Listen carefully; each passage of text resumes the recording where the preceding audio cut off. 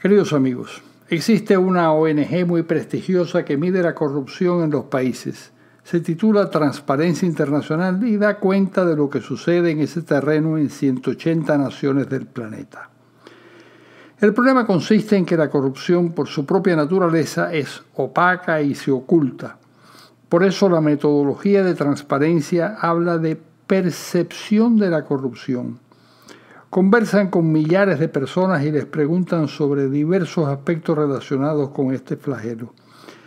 De acuerdo con Transparencia Internacional, Centroamérica y República Dominicana es uno de los sitios más corruptos del planeta y el más corrupto de todos esos países es precisamente Nicaragua.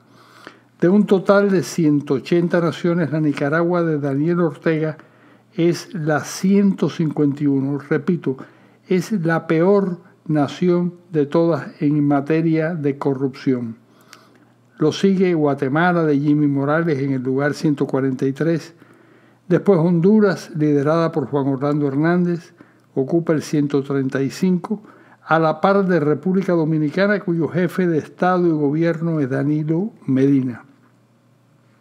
Salvador Sánchez Serén en El Salvador dirige el país número 112, que es bastante deshonroso para, para ser una nación que tanto luchó en el pasado. Mientras el Panamá de Juan Carlos Varela preside la nación número 96 y ha retrocedido notablemente con relación a los últimos dos años. El único país de la región que se salva es Costa Rica, dirigida por Carlos Álvarez de Quesada. Costa Rica es el país 38 de un total, repito, de 180 naciones escrutadas. Pero lo más importante es que Costa Rica excede en casi 10 puntos a los 50 que tienen las naciones cuyos dirigentes son los más honrados del mundo. Costa Rica posee 59 puntos. Se calcula que por debajo de 50 ninguna sociedad puede funcionar con eficiencia y en América Latina solo hay dos que obtienen esa puntuación, Uruguay y Costa Rica.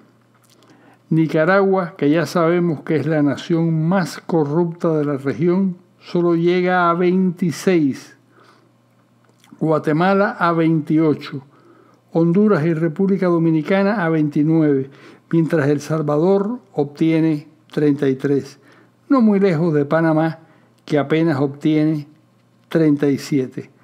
Recordemos lo que acabo de decir. Por debajo de 50 es realmente muy difícil obtener un grado mínimo de eficiencia.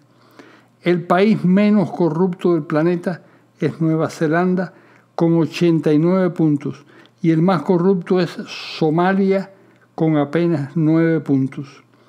Cuando nos preguntamos por qué nos va tan mal, esta es una de las respuestas posibles. Con la excepción de Costa Rica, por la terrible corrupción que crece entre nosotros, nos va tan mal. Desde Panamá a Guatemala, los niveles de corrupción son desgraciadamente altísimos. Les habló Carlos Alberto Montaner.